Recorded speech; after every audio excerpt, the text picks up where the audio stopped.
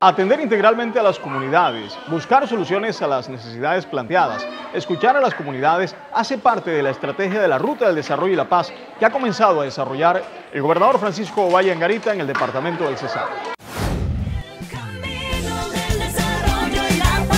Sectoriales de la Administración y aliados dispusieron funcionarios para brindar una atención personalizada a los ciudadanos del casco urbano y zonas veredales durante la primera ruta del desarrollo y la paz que se llevó a cabo en Tamalameque. La, inquietud mía es la cuestión de un puente que necesitamos nosotros que lo comunica al, al corregimiento de Zapatosa, vereda Santa Rosa. Un puente que se necesita porque en verdad estamos incomunicados, cuando eso se crece no tenemos pase. Para estas iniciativas de puente eh, es importante que la gobernación del Cesar a través de la Oficina de Gestión de Riesgo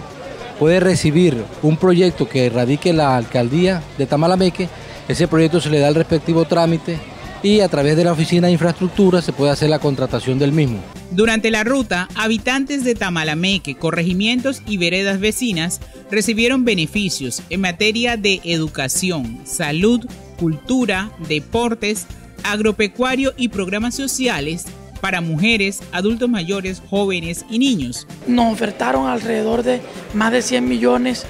de créditos, los cuales se van a tramitar para poder dejar en las microfinanzas del departamento en este municipio de Tamalamenque, tanto en la cabecera municipal como en los corregimientos. Y la biblioteca Rafael Carrillo Luque y la coordinación de la red de bibliotecas públicas del departamento tiene una agenda bien grande eh, estamos empezando haciendo eh, cuentos,